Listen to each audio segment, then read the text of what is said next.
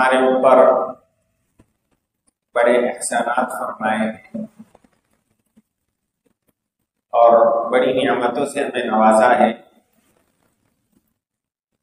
قرآن شریف میں اللہ رب العزت نے ایک جگہ ارشاد فرمایا نعمت اللہ لا تحصوها کہ اگر تم اللہ کی نعمتوں کو شمار کرنے لگو تو پورے طور پر شمار نہیں کر سکو۔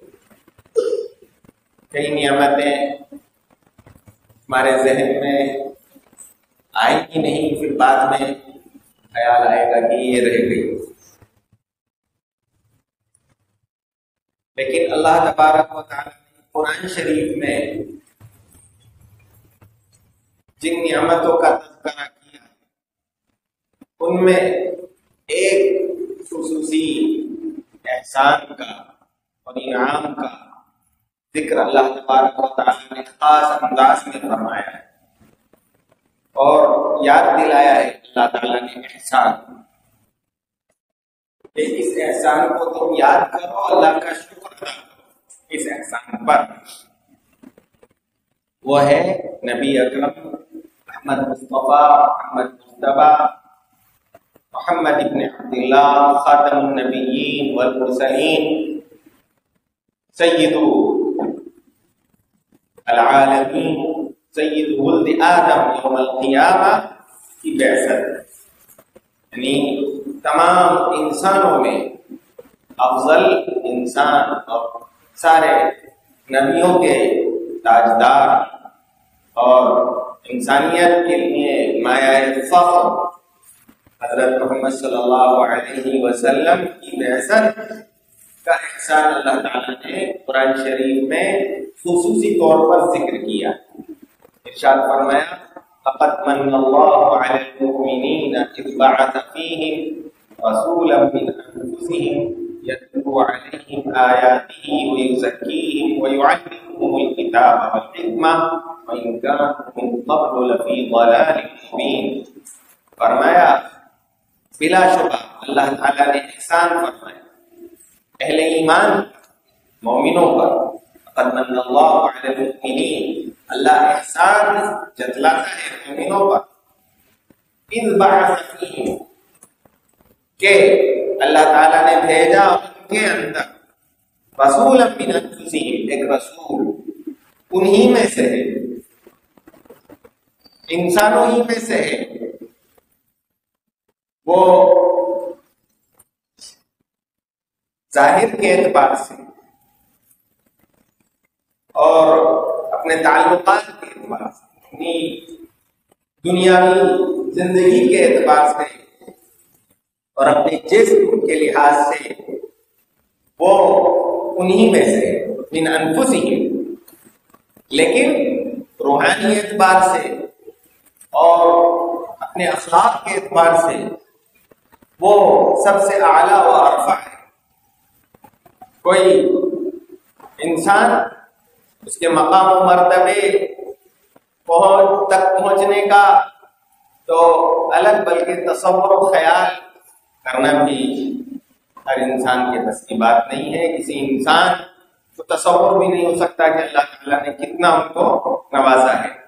تو فرمایا انہی میں سے ایک رسول بھیجا، رسول من انفسہم، یتلو علیہم آیاتی جو کیا کرتا ہے کہ کیا اس کی صفات ہے؟ اللہ کی آیتیں پڑھ کر سناتا ہے وہ یزکیہم، ان کو صاف کرتا ہے، گندگیوں سے ان کو دور کرتا ہے، ان کے دلوں کو مانچتا ہے۔ مزکہ مصفہ کرتا ہے۔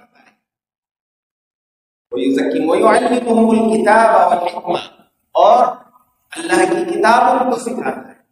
حکمت کی باتیں، اخلاق کی باتیں، انمول باتیں، فہم و دانش کی ان کو سکھاتا ہے۔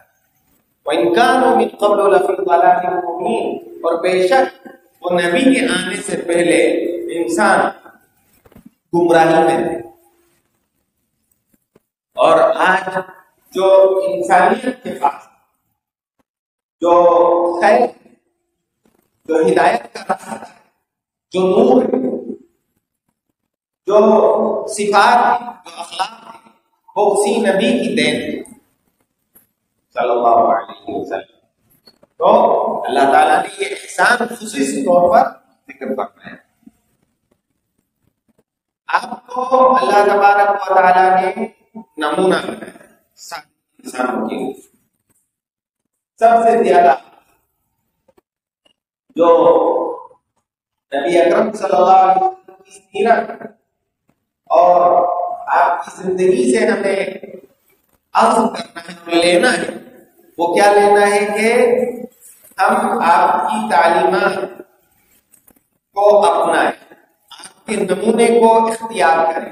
اسی لیے اللہ تعالیٰ نے اس کو ہمیں میں سے بھیجا رشتہ تو کہتے ہیں کہ یہ تو فرشتہ ہے اس کے الگ تقاضے ہیں ہم ہم جیسا انسان نہیں ہے کھانے پینے کا محتاج نہیں ہے جو غم اس کو لائق نہیں ہوتا ہے تو اللہ تعالیٰ نے ایک انسان بنا کر نمونہ انسانیت بنایا کہ دیکھو تمہیں ایسا بننا ہے یہ نبی تمہارے لیے نمونہ ہے اللہ تعالیٰ نے قرآن میں یہ فرمایا رسول اللہ.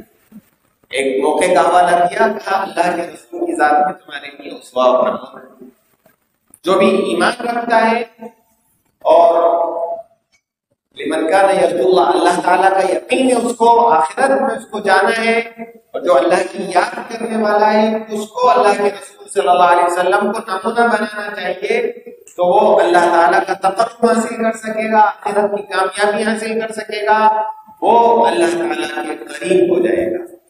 کوئی شخص اللہ رسول صلی اللہ علیہ وسلم کی لائی ہوئی تعلیمات کو اختیار کیے بغیر آپ کے اسوے کو اپنائے بغیر اللہ تعالیٰ تک نہیں پہنچ سکتا۔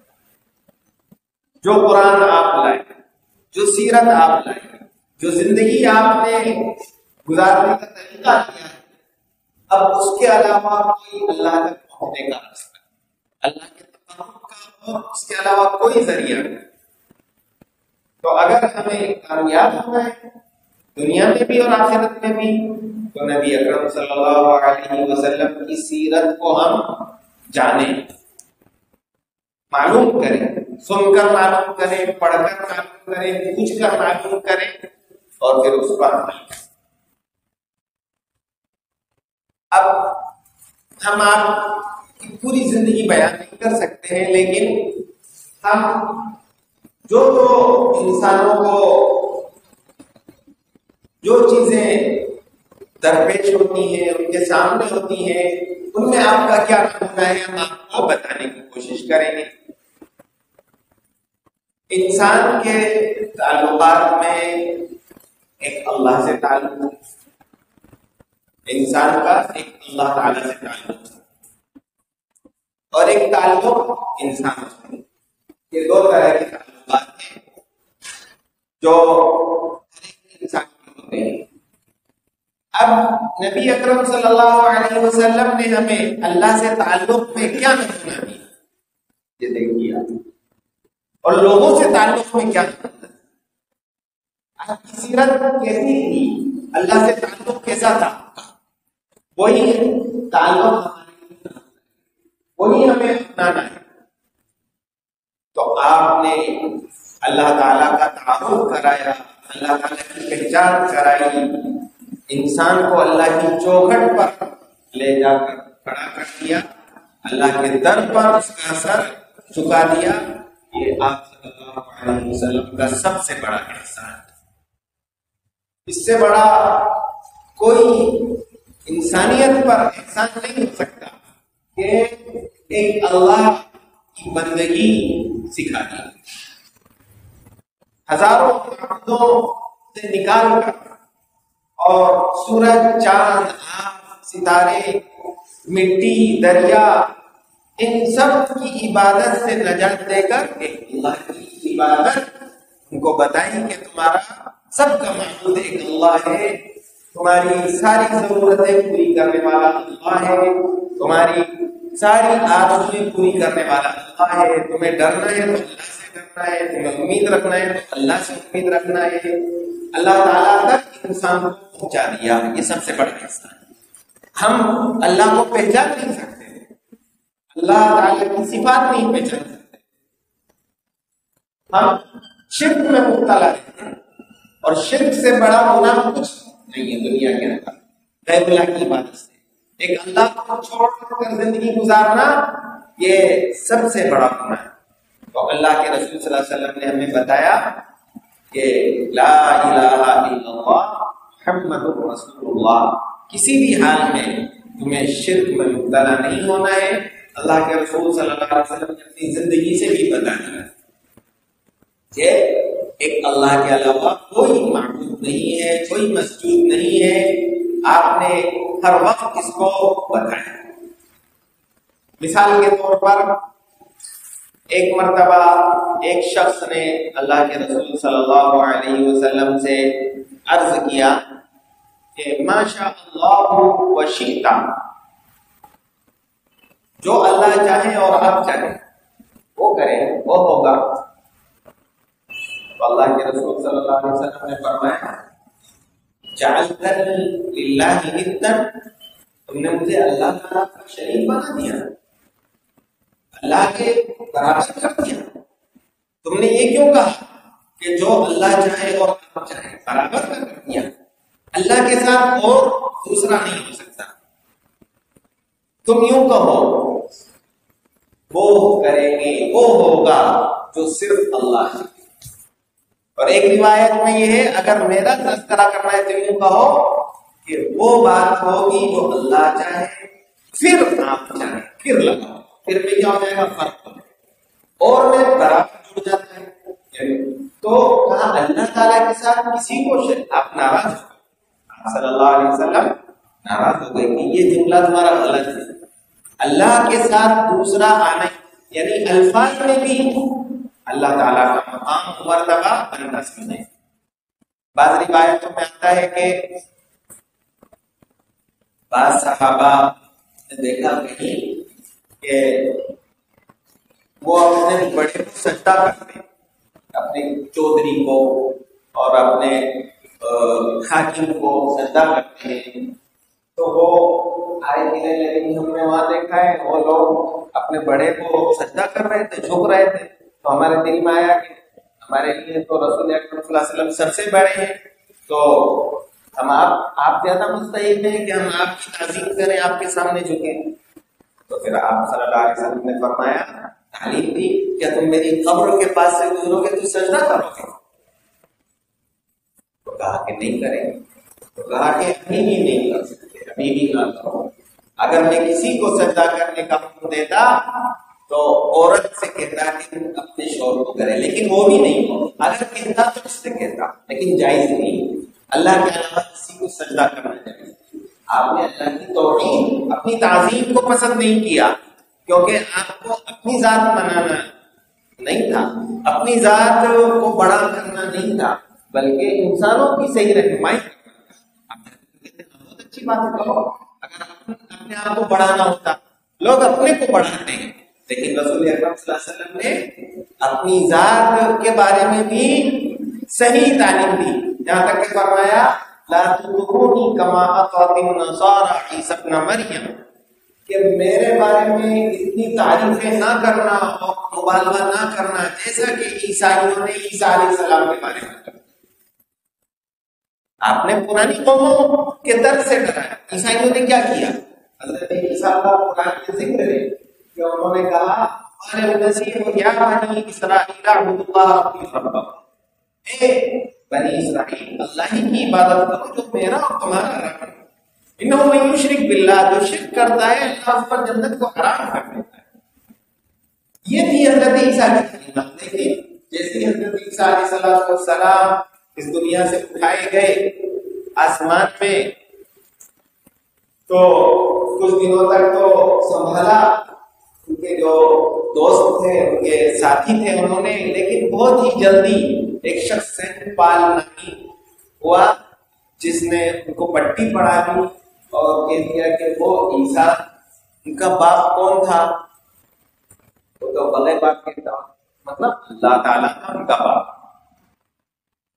ان کو اللہ کا بیٹا کبھی کہہ دیا وہ دو خدا، ایک عیسا اور اللہ دونوں خدا ہے باپ بیٹے۔ کبھی کہا یہ مریم کی ماں اور اللہ اور عیسا یہ تین مل کر کے خدا ہے، سالی سے تو عیسائیوں نے تعلیم کو بدل دیا حضرت عیسیٰ نے تو وہی سکھائی تھی ان کو۔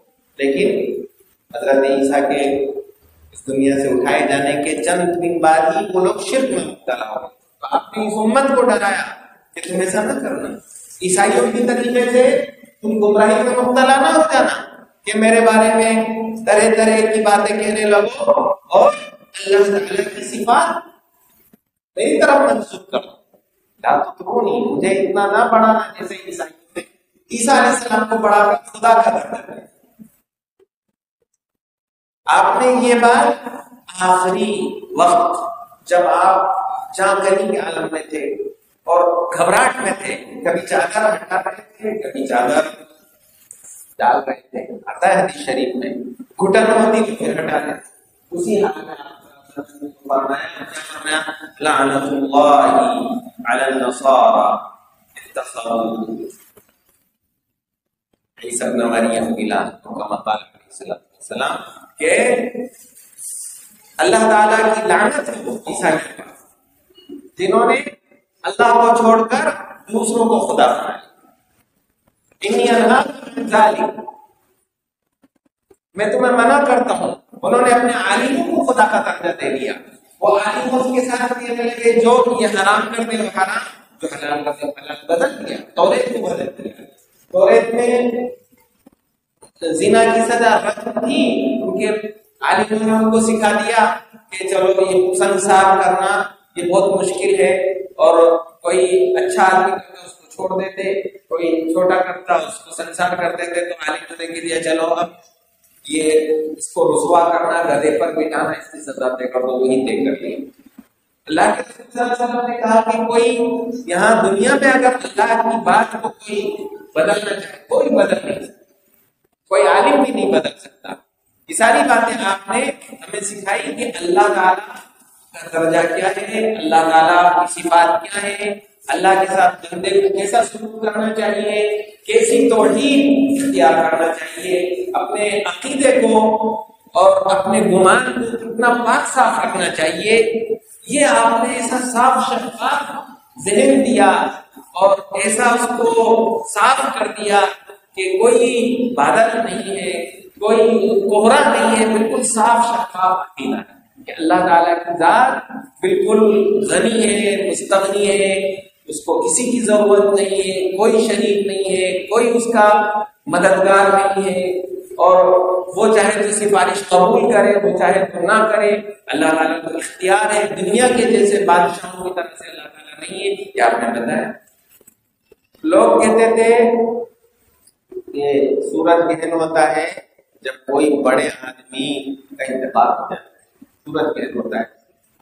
اللہ کے رسول صلی اللہ علیہ وسلم کے بیٹے ابراہیم کا انتقال ہوا۔ چھوٹے بچے تھے، دودھ پیتے ہوئے تھے۔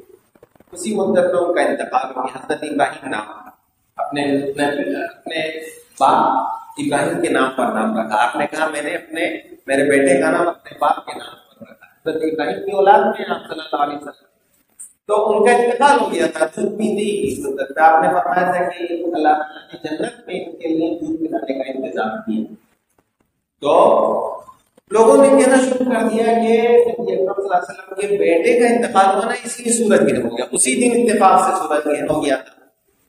تو اگر کوئی ہوتا تو اپنا سکہ جمع رکھنا دیکھو، میری حیثیت کتنی ہے، لیکن آپ نے کیا فرمایا؟ اے لوگوں، یہ سود اور چاند اللہ کی نشانی آپ نے اپنے سے ہٹا کر اللہ سے جوڑا۔ یہ سورج گہن اور چاند گہن کسی کے مرنے اور جینے سے نہیں ہوتے ہیں۔ اللہ تعالیٰ اپنے بندوں کو ڈراتے ہیں کہ دیکھو میری نشانی ہے، میں جب چاہے بدل دوں، میں جب چاہے درخت برف کر تمہیں میری طرف رجوع ہونا ہے۔ جب تم دیکھو سورج گہن ہو رہا ہے، نماز میں مشغول ہو جاؤ۔ اللہ کے ذکر میں مشغول ہو جاؤ۔ آپ نے ایسے لوگوں کو اللہ تعالیٰ سے تو آپ صلی اللہ علیہ وسلم نے سکھایا کہ اگر تمہیں کچھ بھی مانگنا ہے تو اللہ تعالیٰ سے سلاد پڑھو۔ قرآن مجید بتایا، اگر کوئی کام کرنا ہے تو اللہ سے میرے مدد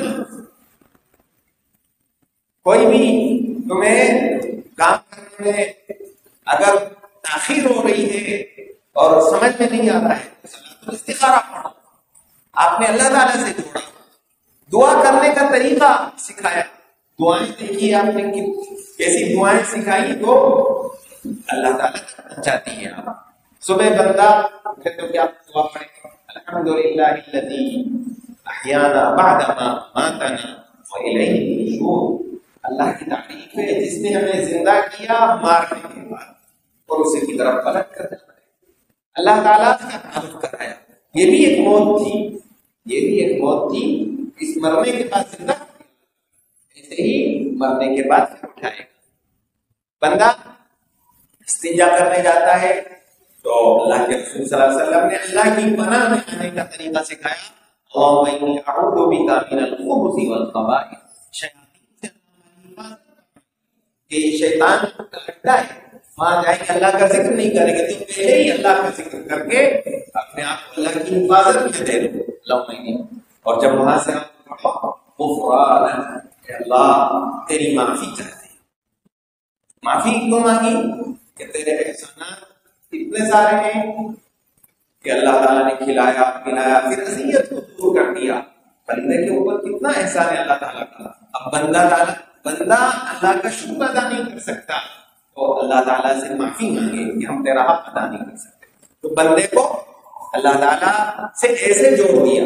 گھر سے باہر نکلو کیا پڑھو بسم اللہ توکل علی اللہ ولا حول ولا قوت الا باللہ۔ اللہ کے نام سے ہم باہر نکل رہے ہیں۔ اللہ ہی پر بھروسہ کیا۔ کوئی طاقت، کوئی قوت اللہ کے بغیر نہیں ہے۔ ہر وقت اللہ پر بھروسہ۔ اللہ کا بھروسہ۔ جب بندہ یہ کہتا ہے تو شیطان کہتا ہے کہ یہ تو میرا ہاتھ سے بچ گیا۔ اب اس کی حفاظت ہو گئی۔ اللہ میں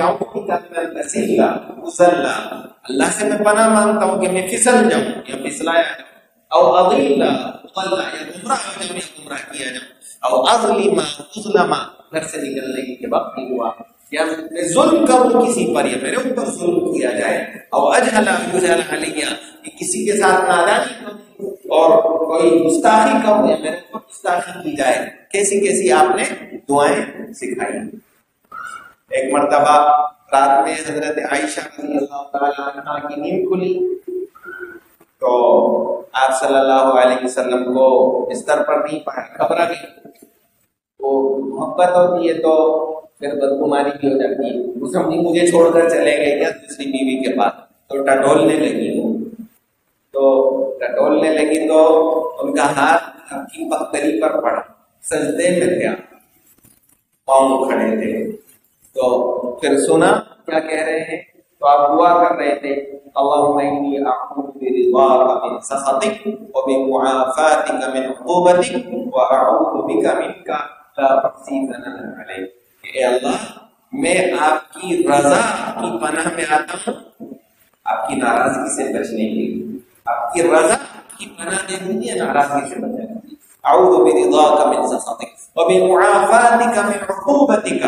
اور آپ کی عافیت عطا کر کے آپ کی سزا سے بچا دیجیے معافاتک من عقوبتک واعوذ بک منک اور اپنی ذات سے بچانے کے لیے اپنی ذاتی کی پناہ میں دے دیجیے اگر دنیا میں کوئی مارے گا تو دوسرے سے شکایت کرتے ہیں۔ لیکن اللہ تعالیٰ پکڑے گا تو کس کے پاس جاؤ گے؟ کہ ہاں، آپ کی پکڑ سے بچانے کے لیے آپ اپنی پناہ دیں گے تو ایسا سکھایا کہ اللہ سے اللہ سے بھاگ کر کہاں جا سکتا ہے۔ اللہ کی بات۔ اللہ سے بچنے کا کوئی راستہ نہیں ہے مگر کسی کے پاس۔ مطلب گناہ ہو جائے، اپنی پکڑ کے جاؤ اللہ گناہ کر کے چلو، بھاگ جاؤ، اللہ کی پکڑ سے آپ اللہ کے پاس کیا جاؤ؟ کہ اللہ گناہ ہو گیا ہے۔ آپ اس کی پکڑ سے بچیں گے تو اس آپ سے توبہ کر کے بچ سکتے ہیں۔ تو حضرت عائشہ کہنے لگی، میں تو کس دنیا میں تھی، آپ کس دنیا میں؟ میں کیا سوچ رہی تھی اور آپ تو ایسا اللہ تعالیٰ سے ہمیں جوڑا اللہ کے رسول صلی اللہ علیہ وسلم نے کہ اللہ تعالیٰ سے تمہارا تعلق ایسا مضبوط ہونا چاہیے اور بے روز ہونا چاہیے، بغیر شرکت کے ہونا چاہیے۔ تمہیں صاف اور شفاف اللہ کے بارے میں، اللہ کے بارے میں اچھا گمان کیا کہ دیکھو، تمہاری موت آئے تو اللہ سے اچھا فرمان رکھو۔ ان شاء اللہ بخش فرمائے گا اللہ تعالیٰ۔ اللہ تعالیٰ گناہوں کو معاف کر دے گا۔ نے یہ فرمایا۔ اور در کر در کی بات فرمایا کہ اچھا عمل کرتے رہو اور یہ سمجھتے رہو کہ کسی کا عمل اس کو نجات نہیں دے سکتا۔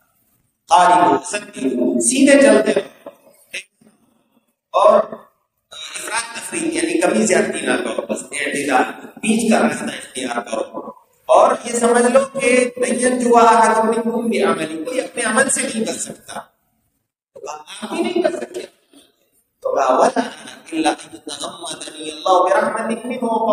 کہ میں بھی نہیں بچ سکتا۔ اللہ ہے کہ اللہ تعالیٰ اپنے فضل سے مجھے بچا لے۔ تو اللہ کے فضل امیدوار رہو۔ یہ آپ صلی اللہ علیہ وسلم نے اللہ کے فضل کے امیدوار رہنا ہمیں سکھایا۔ اللہ کا ڈر بھی سکھایا۔ اللہ کے رسول صلی اللہ علیہ وسلم نے اللہ کا ڈر کیسے سکھایا کہ اگر مومن کو بھی معلوم ہو جائے کہ اللہ کے پاس کتنا عذاب ہے، کتنی پکڑ ہے، تو کوئی جنت کی لالچ نہیں کر سکے۔ اللہ کی عذاب کا اگر یقین ہو جائے اور ہولناکی جو جہنم کی ہے اور اللہ کا غصہ اور جلال معلوم ہو جائے تمہیں، تو مومن بھی جنت کی لالچ نہیں کر پائے لیکن یہ بھی فرما دیا آپ نے کہ اگر اللہ کی رحمت کا تمہیں استحصال ہو جائے تو پھر کوئی اللہ کی جنت سے مایوس نہیں ہو۔ دونوں باتیں آپ نے ہمیں بتا دی کہ ڈرنا بھی اللہ تعالیٰ سے امید بھی اللہ تعالیٰ سے رکھنا ہے، مانگنا بھی اللہ تعالیٰ سے ہے اور محبت بھی اللہ سے کرنا ہے اور عصمت بھی اللہ کی کرنا ہے۔ اور عبادت بھی اللہ کی کرنا ہے سب بھی اللہ کے سامنے جھکانا ہے۔ تو یہ اللہ سے جوڑ کے کتنا آدمی کو فری کر دیا۔ فری ہے انسان۔ جس کو اللہ کا یقین ہو جائے، اللہ سے تعلق نصیب ہو جائے، وہ سب سے زیادہ عزت والا انسان کیونکہ انسان ضعیف ہے، لیکن اللہ کے تعلق سے انسان مضبوط ہو جاتا ہے۔ انسان ڈرنے والا ہے، لیکن اللہ کے تعلق سے انسان کو امن نصیب ہو جاتا ہے۔ انسان بیمار ہے، لیکن اللہ کے تعلق سے اس کو شفا کا در مل جاتا ہے۔ انسان ضرورت مند ہے، اللہ کا در اس کو مل گیا تو اس کی ضرورت کا سامان ہو جاتا ہے۔ تو انسان کو جو سب سے آپ نے سب سے زیادہ انسان کو دیا ہے، وہ اللہ تعالیٰ کا اس کے سامنے کر کے، اس کو اللہ تعالیٰ سے جوڑ کے آپ نے انسان پر ایسا کیا۔ اب اگر ہمیں قدر کرنا ہے اللہ کے رسول صلی اللہ علیہ وسلم کی تو ہم اللہ کا در مضبوطی سے پکڑے رہیں، اللہ کے در کو نہ چھوڑے بس یہی اللہ کے رسول صلی اللہ علیہ وسلم کی سنت اور سیرت کا پیغام۔ اب دوسرا تعلق لے لیجیے انسانوں سے تعلق یہ اللہ سے تعلق انسانوں سے انسان کا تعلق ہے۔ یہ بھی سکھایا۔ آپ نے اس میں کیا سکھایا؟ آپ نے یہ سکھایا کہ لا يؤمن احدكم حتى يحب لاخيه ما يحب لنفسه۔ تم میں سے کوئی آدمی مومن نہیں ہو سکتا یہاں تک کہ اپنے بھائی کے لیے بھی وہی پسند کرنے لگے جو اپنے لیے پسند کرتا ہے۔ اپنے بھائی کے لیے بھی وہ پسند کرنے لگے جو اپنے لیے پسند کرتا ہے۔ تو اس وقت تک مومن نہیں ہو سکتا۔ ایسا اچھا آپ نے نمونہ دے دیا۔ انسان کیا؟ میرا فائدہ ہو جائے، یہ جائے کھاڑ اس کا کتنا ہی نقصان ہو جائے۔ اپنے دس روپے کے فائدے کے لیے وہ کسی کا سو روپے کا نقصان کرنے میں کوئی ترتب محسوس نہیں کرتا ہے، جو خود غرض انسان ہوتا ہے۔ لیکن اللہ کے رسول صلی اللہ علیہ وسلم نے بھی کیا نمونہ دیا؟ کہ کسی بھی انسان سے معاملہ کرو تو اپنے آپ کو اس جگہ رکھ لو۔ اپنے آپ کو اس کی جگہ پر رکھ کے دیکھو، میں ہوتا تو کیا کرتا؟ تو ایسا آپ نے انسانوں سے تعلق کرنا، تعلق رکھنا بتایا۔ آپ نے بتایا، اگر تم آقا ہو اور تمہارا کوئی خالی ہے ایسا تعلق رکھو؟ اللہ کے فرمایا، جب کوئی خالی اس کا کھانا پکا کر لائے، اس کے پاس وہ کھانا پکانے میں جلا ہے اور دھواں اس نے چھیلا ہے زحمت پسینہ بلایا ہے۔ اب کھانا تیار کر کے لا رہا ہے، اس کو بٹھایا کہے کہ تم بھی کھاؤ۔ اگر کھانا اتنا کم ہے، حلوہ ہے گانا مشفون خلیل تو اس کو تھوڑا دے دے دو چار۔ کیونکہ اس نے اور آپ نے اگر کوئی خالی میں تو کیا بتایا؟ کہ سب سے اچھا غلام وہ ہے، سب سے اچھا اس کو دو اجر ملیں گے جو اپنے آقا کا بھی حق ادا کرے اور اللہ کا بھی حق ادا جو اپنے آقا کا بھی حق ادا کرے، اللہ کا بھی حق ادا کرے۔ تو آپ نے ایسا تعلق بتایا۔ آپ صلی اللہ علیہ وسلم نے انسانوں کو فائدہ پہنچانا سکھایا۔ انسانوں کو دھوکہ دینے سے آپ نے ہمیں محفوظ رکھا۔ آپ نے فرمایا کہ وہ آدمی مومن نہیں ہو سکتا۔ لا یؤمن من یشبع وجهه جائب الى جنبه، کہ جو پیٹ بھر کر آسودہ ہو کر آرام سے سو جائے اور اس کا بھائی اس کے پڑوس میں بھوکا ہو وہ مومن نہیں ہو سکتا۔ ایسا تعلق ہمیں بتایا، اپنے پڑوسیوں کا۔ مسلم من سلم المسلمون من لسانه ويده مسلمان وہ ہے جس کی ہاتھ جس کی زبان سے پہلے زبان کو بتایا جس کے ہاتھ سے دوسرے لوگ محفوظ رہے وہ مسلمان۔ اپنی زبان کو قابو میں رکھو، اپنے ہاتھ کو قابو میں رکھو کسی کو ستاؤ نہیں۔ زبان کی تیر نہ کسی زبان سے چھلنی نہ کرو پہلے زبان کا ذکر کیا، جس کی زبان سے، جس کے ہاتھ سے دوسرے لوگ محفوظ رہے، وہ مومن۔ سب سے اچھا مومن وہ ہے۔ یہ آپ کی تعلیمات ہیں۔ یہ کوئی آج کرتے ہیں؟ کتنوں کو اپنی زبان سے نقصان پہنچاتے ہیں؟ کتنوں کو ہاتھ سے نقصان پہنچاتے ہیں؟ کتنوں کو عمل سے نقصان پہنچاتے ہیں؟ کتنی ہمارے اندر ایمانت و دیانت ہے؟ لوگوں سے تعلقات میں ہم اپنا فائدہ کرتے ہیں۔ اللہ کے رسول صلی اللہ علیہ وسلم نے کہا، دوسرے کا فائدہ مقصود ایک صحابی ہے، حضرت جریر بن عبداللہ بجلی رضی اللہ عنہ۔ ان کا واقعہ ہے، ایک مرتبہ گھوڑا خریدنے کی ضرورت پڑی ان کو۔ تو گئے، اپنے خادم کو بھی لے گئے۔ خادم سے کہا، یہ بازار ہے، کوئی پکڑ کے لاؤ گھوڑے تو وہ ایک شخص کو پکڑ کر لیا اس کو تیار کر رہے تھے تین سو درہم میں۔ تو وہ تھوڑی آنا کانی کر رہا تھا۔ کہنے لگے، یہ ہے صاحب، یہ تین سو درہم میں بیچ رہے ہیں، اپنا گھوڑا۔ تو صحیح، تو جو ہمارا معاملہ ہوتا ہے، وہ یہ تو تین سو تو زیادہ لگ رہی ہے تم نے۔ تو تین سو کا بھی نہیں ہے۔ بس میں تیار انہوں نے کیا؟ انہوں نے کہا، یہ تین سو کا نہیں ہے بھیا تمہارا گھوڑا، یہ چار سو کا بنے گا۔ چار سو میں بیچو تو خوش ہو گیا۔ کہ لگے تو تین سو میں مجھے کھا رہا حضرت بہت اچھا چار سو میں تو تو پھر کہنے لگے تھوڑی دیر کے بعد، یہ چار سو میں بھی تمہارا سستا رہے گا، نقصان ہو جائے گا۔ پانچ سو میں دے دو۔ ٹھیک ہے پھر کہا، پانچ سو میں بھی یہ تمہیں سستا پڑے گا۔ اس کی صحیح قیمت چھ سو ہونا چاہیے۔ کہتے ہیں، کتاب میں صحیح واقعہ آیا ہے، حدیث کی کتابوں میں صنعت کے ساتھ کہ آٹھ سو میں خریدا۔ وہ گھوڑا۔ ان کا نوکر بعد میں کہنے لگا، کیا آپ کو کیا ہو گیا ہے؟ تو یہ تو تین سو میں دے دیتا ہوں۔ کہنے لگے، وہ تو صحیح ہے، لیکن ہم نے اللہ کے رسول صلی اللہ علیہ وسلم سے بیان کی ہے کہ اس مسلمان کو دھوکہ نہیں دینا۔ مسلمان کا ذکر اس لیے نہیں کہ غیر مسلم کو دو معاملہ معاملہ ایک مملکت میں رہتے ہیں تو انہیں سے پڑھتا ہے، اس لیے فرما کسی کو دھوکہ نہ دو، اپنا دل سب کے لیے صاف رکھو، سب کا نفع چاہو، کسی کو نقصان پہنچانا چاہو۔ یہ میرے بیت کے لاحق نسخے لکھو، خیر خواہی اچھا چاہنا، اللہ چاہنا، یہ جو لفظ ہے کہ میں نے اس پر بیعت کیا نسخے لکھوں اب کیسے میں میں اپنے آپ کو اس جگہ دیکھ رہا اگر میں ہوتا تو میں کتنے میں بیچتا؟ یہ صحیح قیمت کیا ہے؟ مجھے اس کی صحیح مناسب یہی قیمت لگی کہ ہم پاگل نہیں ہیں۔ ہمیں اللہ کے رسول نے جو سکھایا ہے، اس پر تو یہ آپ صلی اللہ علیہ وسلم کی تعلیمات ہیں۔ لوگوں سے تعلق میں ایسا تعلق رکھو کہ اپنی ذات کا فائدہ نہیں، لوگوں کا فائدہ نہیں۔ ایک مرتبہ آپ بازار سے گزرے تو ایک گلے کے ڈھیر میں ہاتھ ڈالا تو اندر گیلا گلا تھا۔ تو آپ نے پوچھا کہ یہ کیا ہے؟ کہا، بارش ہو گئی تھی، بارش۔ تو کہا، بارش ہو گئی تھی تو اس کو اوپر کرتے تاکہ سب لوگ دیکھ لیتے منگشنا منا، جو ہمیں دھوکہ دے، وہ ہمیں سے نہیں یہ یہ تعلیمات ہیں۔ آج سب ملاوٹ کرتے ہیں۔ ایپ کو چھپا لیتے ہیں۔ اگر کو چھپا لیتا ہے۔ بیچنے والا ہے تو مال کے کچھ چھپا دیتے بیان نہیں کرتے صاحب بس سامنے والے کو دھوکہ دینا ہے، کسی بھی طریقے سے اپنا کام نکالنا آپ صلی اللہ علیہ وسلم نے انسانوں سے اچھا تعلق رکھنے والا بتایا۔ آپ نے جو تعلق بتایا یہ کہ حق ادا کرنے والا۔ حق مانگنے والا نہیں۔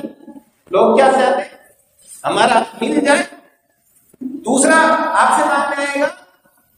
تو اس کے ساتھ الٹا شروع کریں گے۔ ایک سے آپ کو لینا ہے، ایک سے دینا ہے۔ جس سے لینے گئے، اس کو تو کہہ رہے تھے، یار، تم لے لیتے ہو پھر وقت پر نہیں دیتے ہو۔ تو اس سے تو لے لیا، کسی بھی طریقے سے۔ اور جب آپ سے مانگنے والا کہنا کہ کھا کے بھاگ جائیں گے۔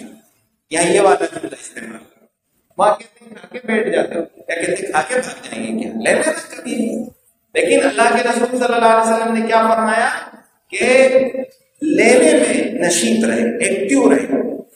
فوراً ادا کرے زیادہ وقت ایک، آپ نے نمونہ دکھایا۔ ایک ایک شخص۔ اور اللہ کے رسول سے سب طریقے سے کیا۔ آپ گویا کہ ایسی بات کہی جو آپ کی شاعری کی۔ حضرت عمر غصہ ہے۔ آپ نے اس کو آگے، اس کو میں سبق سکھاتا ہوں۔ اس کا حق بنتا ہے۔ اس سے میں نے قرض لیا تھا، اگر تمہیں غصہ آ رہا ہے تو اس کا قرض ادا کرو آپ نے اس سے ایک اونٹ لیا تھا، تو پھر کہا کہ اس کا اونٹ دے دیا جائے۔ تو پھر وہ اونٹ نہیں مل رہا تھا اس عمر کا، آپ نے فرمایا اس سے اچھا بنا دے دو کیونکہ جو اچھے طریقے سے ادا کرے، وہ سب سے بہتر ہے تم میں سے۔ تو حق ادا کرنے میں آپ نے دریا دلی بتائی۔ آپ نے فرمایا، رحم اللہ قرآن سمجھن اذا اشتاق سمجھن اذا باع سمجھن اذا اقتضى اللہ رحم کرے اس شخص پر جو دریا دل ہو۔ جب خریدے تو دریا دل ہو، جب بیچے تو دریا دل ہو۔ جب تقاضا کرے تو دریا دل ہو۔ خریدے تو دریا دلوں کا مطلب کیا؟ کہ کم لے لیں گے، کوئی بات نہیں، پیسہ پورا دیں گے۔ بیچے تو دریا دلوں زیادہ دیں گے۔ پیسے میں اگر کوئی کمی ہوگی تو چلے جائے تقاضا کرے تو دریا دل ہو، آج نہیں تو کل دے دے گا کوئی بات دینا ہے تو آج ہی دینا ہے، لینا ہے تو بعد میں آپ صلی اللہ علیہ وسلم نے فرمایا، ایک آدمی کی اللہ نے اسی پر مغفرت کرتی ہے آخرت میں ایک آدمی کی مغفرت ہو جائے گی۔ آپ نے سب ایک واقعہ سنایا کہ ایک شخص آیا، اس کے پاس کچھ عمل نہیں تھا۔ اللہ تعالیٰ نے کیا لایا؟ آپ کو پتا ایسا ہونے والا ہے۔ پہلے ہی بتا کہا کچھ نہیں ہوا۔ ہے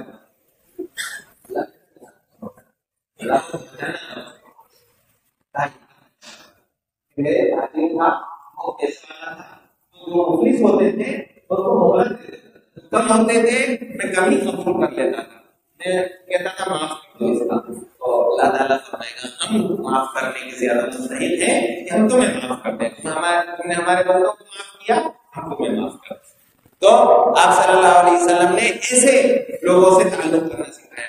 اگر بیوی سے تعلق ہو تو آپ نے کیسا سکھایا کہ بیوی سے کیسا تعلق ہو؟ آپ صلی علیہ وسلم نے عملی نمونہ پیش کر کے دکھا دیا کہ نو دس کو ایک ساتھ عدل و انصاف کر کے، خوش کر کے آپ نے نمونہ دکھا دیا کہ ایسے تعلق رکھنا ہے۔ ایک، حضرت عائشہ رضی اللہ تعالیٰ کی باری تھی۔ تو ایک دوسری زوجہ نے تحفہ بھیجا، انہی کے گھر میں۔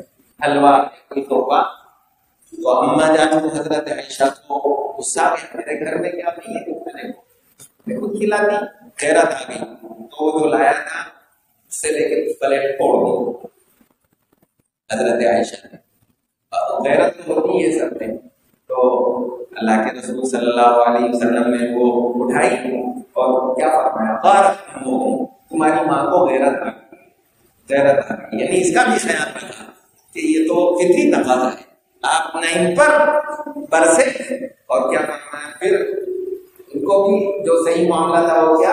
وہ پلیٹ جیسی جو گھر میں تھی، وہ ان کے گھر پہنچا دی۔ ادھر بھی نقصان نہیں کیا، ادھر بھی کوئی آپ نے کوئی زیادتی نہیں کی۔ تو یہ پلیٹ ان کو دے دی یہ تمہاری وجہ سے ہوا ہے، کچھ کہا نہیں۔ جو اچھی پلیٹ تھی، صحیح پلیٹ تھی، وہ ان کے گھر پہنچا دی۔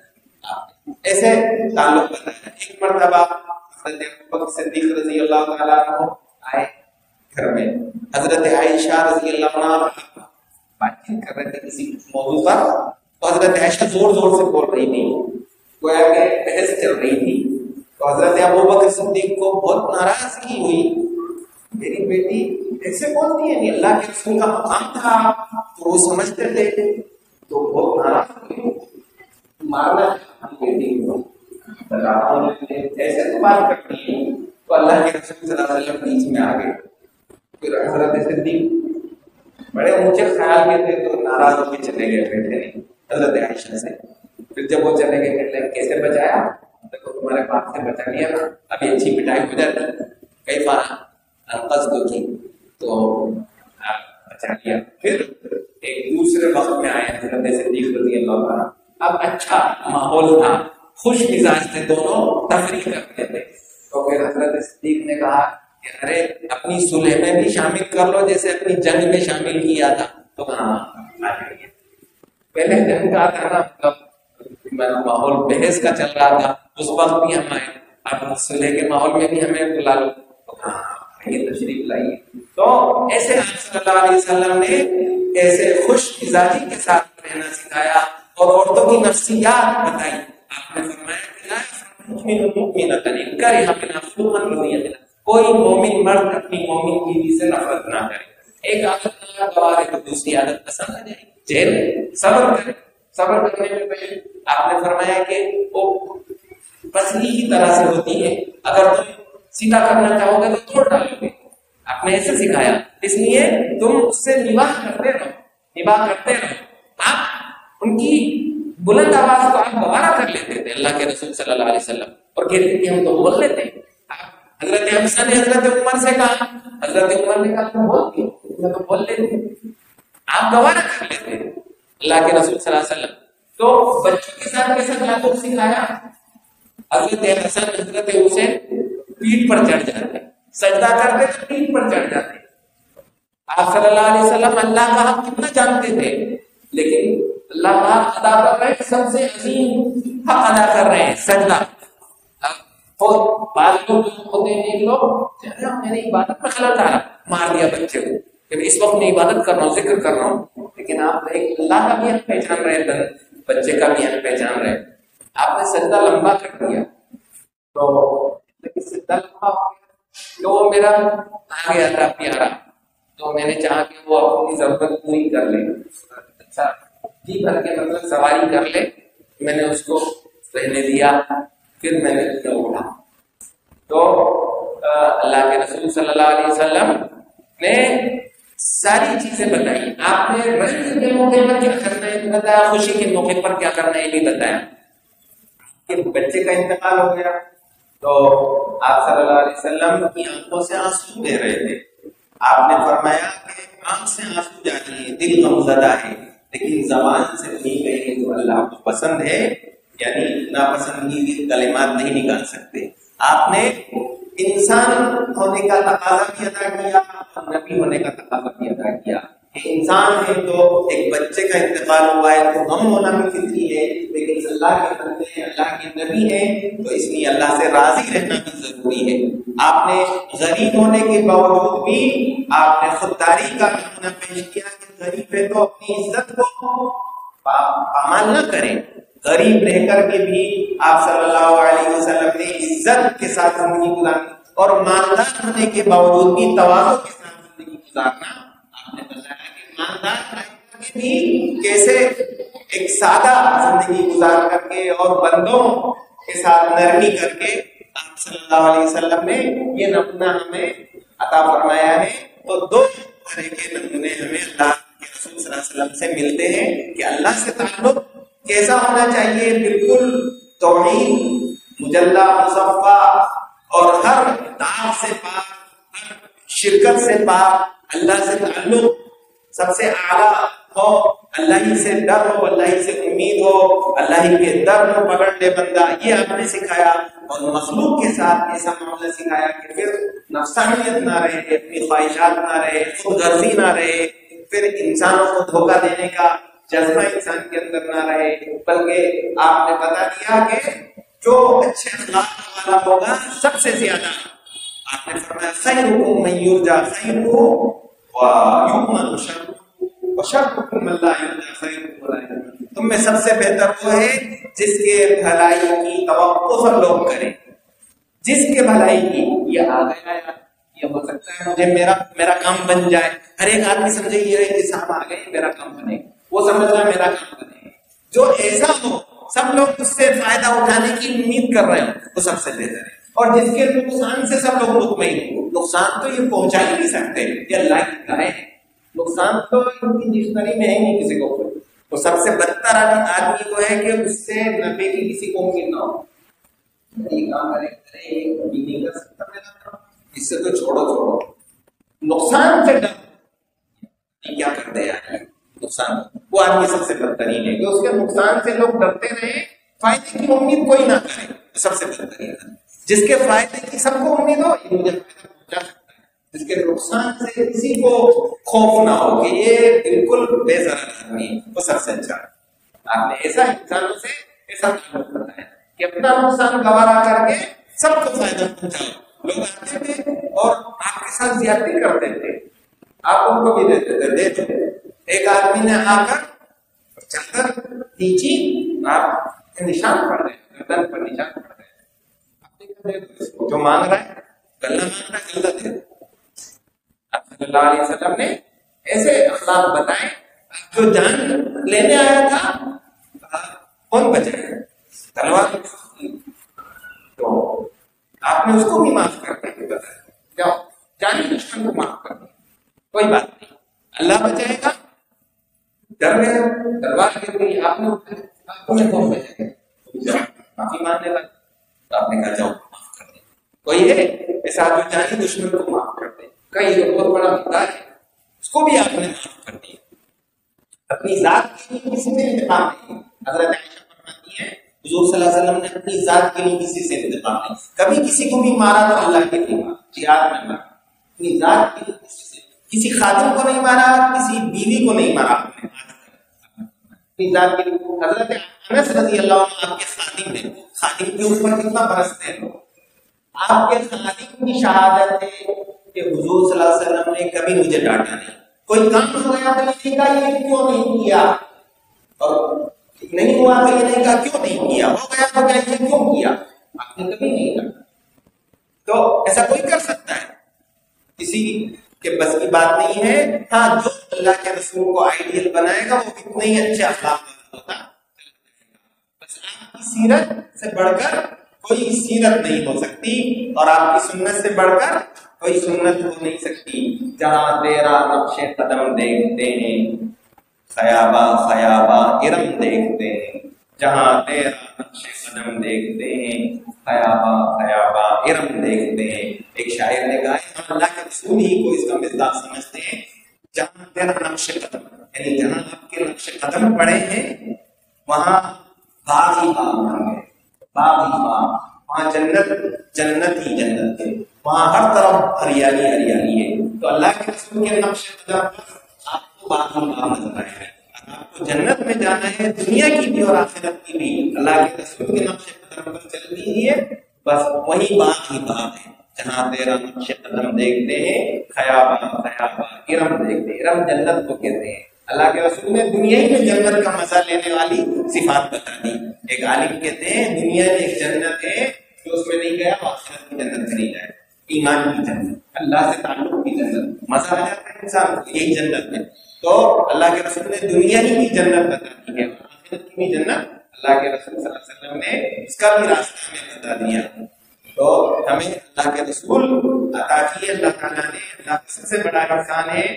ہمیں آج جو ہم نے سنا ہے، جو کہا ہے اس سے ہمیں فائدہ اٹھانا چاہیے، کہنے والے کو بھی فائدہ اٹھانا چاہیے، سننے والے کو بھی، کہ ہم اللہ سے تعلق رکھیں تو سب سے اعلیٰ رکھیں۔ پھر اللہ سے تعلق میں کسی کو نہ دیکھیں، اللہ کا حکم پورا کرنا ہے تو کوئی راضی ہو، ناراض ہو۔ کیا کر سکتے کوئی غرض نہیں ساری دنیا ناراض ہو جائے، اللہ تعالیٰ راضی رہے۔ اگر ہم چاہیں گے اللہ کو ناراض کر کے ساری اس کو منا لے اس کو منا لے اللہ کے رسول نے کہا کہ نہیں۔ اللہ کی اطاعت میں کسی کی نافرمانی جائز نہیں ہے۔ اللہ کی نافرمانی ہو رہی ہے تو کسی کی بات نہیں مانی جائے گی۔ ساری دنیا ناراض ہو جائے بادشاہ کچھ نہیں ہوگا اللہ سے ایسا اور جب بندوں سے تعلق ہو تو بندوں کا فائدہ ہی فائدہ۔ ہمارا چاہے نقصان ہو جائے، کسی کو نقصان نہیں پہنچائیں گے۔ سب کے ساتھ اچھے اخلاق سے پیش آئیں گے۔ پڑوسوں کا حق ادا کریں گے، بیوی کا حق ادا کریں گے، بچوں کا حق ادا کریں گے۔ اور پڑھائی کا حق کریں گے اپنوں کا حق ادا کریں گے رشتے داروں کا رشتے داری کی کیسی آپ نے تاکید فرمائی کہ جو آدمی رشتے رشتے کا خیال کرتا ہے، اللہ تبارک و تعالیٰ اس کو عمر میں اضافہ فرماتا ہے اور اللہ تبارک و تعالیٰ اس کے رشت میں برکت ادا فرماتا ہے۔ اور فرمایا کہ یہ رشتہ اللہ کے عرش کے پاس، اللہ کے عرش کے پاس رشتہ لڑکا ہوا ہے، وہ کہتا ہے جو مجھے جوڑے گا، اللہ اس کو جوڑے گا۔ جو مجھے توڑے گا اللہ اس کو توڑے گا۔ ایسے رشتوں کے آپ نے ایسی عظمت سکھائی۔ رشتوں کا ایسا آپ نے بھرم بتایا کہ رشتے کو اللہ تبارک تعالیٰ نے خاص ملا ہے۔ اللہ کا ارشاد نہیں کیا۔ کہ اللہ کہتا ہے، میں رحمان، میں نے رشتے کا نام رحیم رکھا ہے۔ رحمان سے نکالا۔